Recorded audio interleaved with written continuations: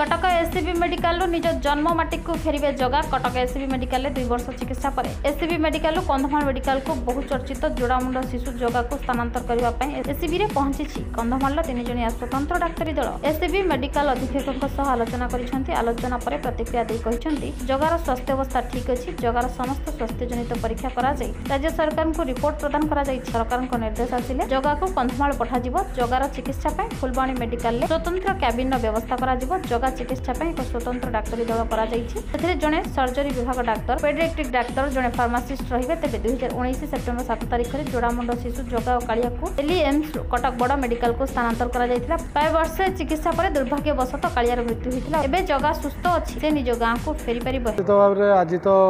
ମାନେ ଆମ ପାଇଁ ଆଉ ତାର ମା ଆଉ ତା ପାଇଁ ଗୋଟେ ଖୁସିର ଖବର ବର୍ତ୍ତମାନ ସେ ତାର ଘର ଫୁଲବାଣୀର ଯୋଉ ଅଛି ଡିଷ୍ଟ୍ରିକ୍ଟ ହେଡକ୍ୱାର୍ଟର ହସ୍ପିଟାଲ ସେଠୁ ବର୍ତ୍ତମାନ ସେ ଫେରିଗଲା ଆସିଥିଲା Phulbani district ହେଡ଼କ୍ୱାର୍ଟରରୁ SCB medical college SCB medical କଲେଜରୁ ଯାଇଥିଲା ଏମ୍ସ ଏମ୍ସରେ ସେ ଅପରେସନ୍ ହେଇ ଦୁଇ ବର୍ଷ ଥିଲା ଦୁଇ ବର୍ଷ ପରେ ଏସ୍ସିବି ଆସିଥିଲା ବର୍ତ୍ତମାନ ଏଠି ବର୍ଷେ ସାତ ମାସ ରହିଲା ପରେ ବର୍ତ୍ତମାନ ପୁଣି ସେ ଫୁଲବାଣୀର ଡିଷ୍ଟ୍ରିକ୍ଟ ହେଡ଼କ୍ୱାର୍ଟରକୁ ଫେରିଯାଇଛି କଟକରୁ ବଳରାମ ନାୟକଙ୍କ ରିପୋର୍ଟ କାମୟାବ ଟିଭି